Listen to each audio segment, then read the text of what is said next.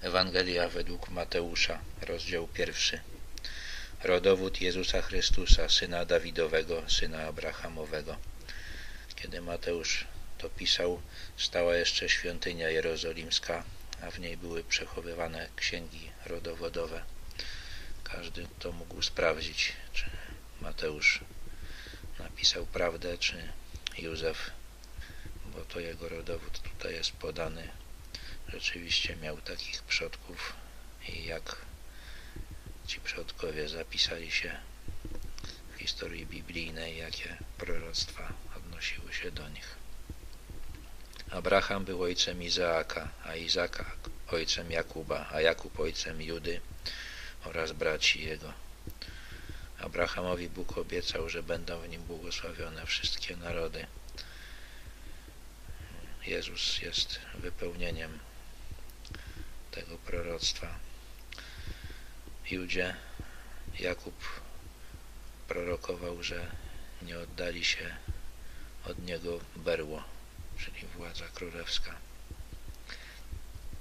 A Juda zrodził z Tamar Faresa i Zarę, a Fares był ojcem Ezrona, a Ezron ojcem Arama. W linii Józefa są potom, jest potomek nierządu. Juda spłodził Faresa i Zarę ze swoją synową Tamar, której dał dwóch synów i oni zmarli trzeciego już bał się jej dać, a ona doprowadziła do tego, że współżył z nią. A Aram był ojcem Aminadaba, a Aminadab ojcem Naasona, a Naason ojcem Salmona. Salmon zrodził z Rahab Boza, a Boz zrodził z Ruty Jobeda, a Jobed był ojcem Jessego. W rodzie, w rodowodzie Józefa jest też Rahab, nierządnica z Jericha, która uwierzyła w Boga Izraela i jako jedyna uratowała się z ludności tego miasta oraz Rut Moabitka, która też uwierzyła w Boga Izraela. A Jesse był ojcem Dawida, króla, a Dawid zrodził z żony Uriasza Salomona, a Salomon był ojcem Roboama, a Roboam ojcem Abiasza, a Abiasz ojcem Azafa, a Azaf był ojcem Jozafata, a Jozafat ojcem Jorama, a Joram ojcem Ozjasza, a Ozjasz był ojcem Joatama, a Joatam ojcem Achaza, a Achaz ojcem Ezechiasza. A Ezechiasz był ojcem Manassesa, a Manasses ojcem Amona, a Amon ojcem Jozjasza. A Jozjasz był ojcem Jechoniasza i braci jego w czasie uprowadzenia do Babilonu. Wszyscy królowie Judy byli przodkami Józefa. A po uprowadzeniu do Babilonu Jechoniasz był ojcem Salatiela, a Salatiel ojcem Zorobabela. Zorobabel odbudował ołtarz zburzonej świątyni jerozolimskiej i zapoczątkował odbudowę całego gmachu. A Zorobabel był ojcem Abiuda, a Abiud ojcem Eliakima, a Eliakim ojcem Azora. A Azor był ojcem Sadoka, a Sadok ojcem Achima, a Achim ojcem Eliuda.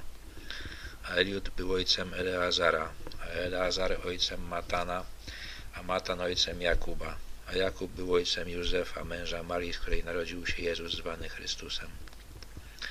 Tak więc wszystkich pokoleń od Abrahama do Dawida jest czternaście, od Dawida do uprowadzenia do Babilonu pokoleń czternaście, od uprowadzenia do Babilonu do Chrystusa pokoleń czternaście.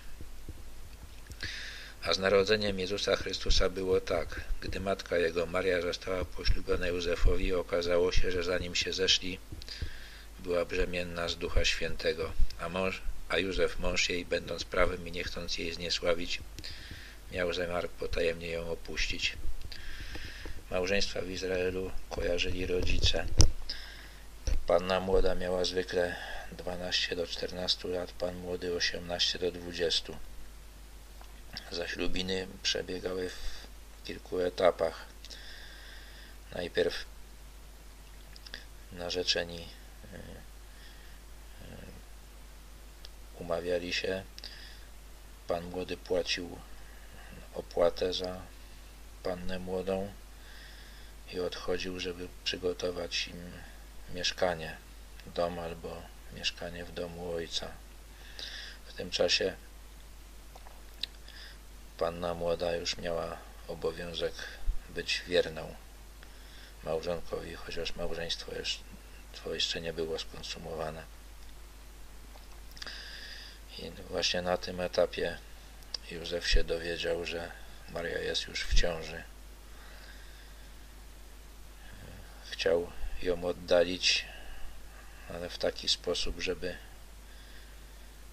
nie wyszło na jaw, że to nie jego dziecko. I gdy nad tym rozmyślał, oto ukazał mu się we śnie anioł pański i rzekł Józefie, synu Dawidowy, nie lękaj się przyjąć Marii, żony swej, albowiem to, co się w niej poczęło, jest Ducha Świętego. A urodzi syna i nadasz mu imię Jezus, albowiem On zbawi lud swój od grzechów Jego. W tym momencie Bóg cudownie zainterweniował. Józef miał sen i uwierzył w to, co w tym śnie Bóg mu powiedział. Dał synowi imię Jeszua, czyli Jahwe zbawia, tak jak, tak jak mu to powiedziano. A wszystko to się stało, aby się wypełniło słowo pańskie wypowiedziane przez proroka. Oto Panna pocznie i porodzi syna i nadadzą mu imię Immanuel, co się wykłada Bóg z nami. A gdy Józef obudził się ze snu, uczynił jak mu rozkazał anioł pański i przyjął żonę swoją. Ale nie obcował z nią, dopóki nie powiła syna i nadał mu imię Jezus. Jest napisane, że nie obcował z nią, dopóki nie powiła syna. No, można się domyśleć, że, że później obcował z nią, że żyli normalnie tak jak każde inne małżeństwo.